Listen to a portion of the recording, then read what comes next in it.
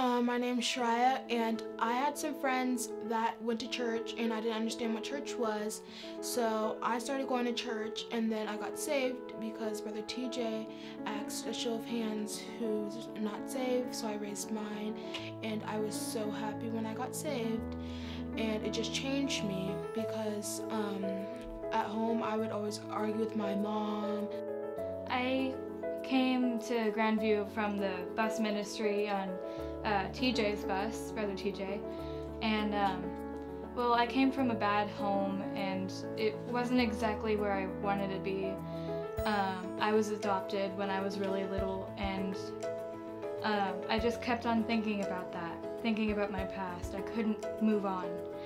But when I started to come to Grand View, just as it went on, I noticed a change and like it was like someone was tapping in and just changing the little things. Like I noticed I started listening to different music.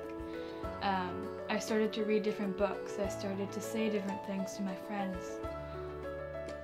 And ever since I came to church, it changed me because most of the time I would always argue with my mom, talk back to her, but now I know like I always obeyed her and stuff. So I decided that I need to work on that and I need to respect my parents. After I've been coming for like two years, I invited my friend Dorothy to come to church with me and I'm Dorothy. I've been coming for about two years now.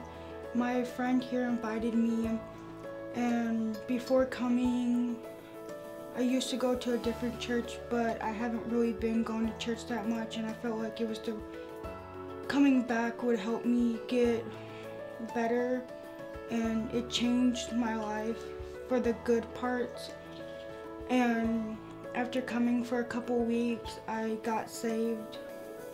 I'd like to um, thank Miss Abelina because she would take time off of work for um, her to talk to us and of what we, um, we need to pray about. And I'd like to thank um, Miss Sarah and Brother TJ for coming to my house every week to come pick me up just to go to church. And um, learn more about a Christian and to thank the people who pay for the buses to come out to come pick up kids. I want to say thank you to Brother TJ and Miss Sarah because without them um, bringing the bus over to my house every single week, I wouldn't be able to go to church. And also to Miss Berkland for kind of going one-on-one -on -one with me and working through, you know, my past and not lingering and working on the future. I want to thank Miss Sarah and Brother TJ for coming and picking me up every day on the bus and I want to thank people that helped pay for the bus ministry because without that I wouldn't be able to come.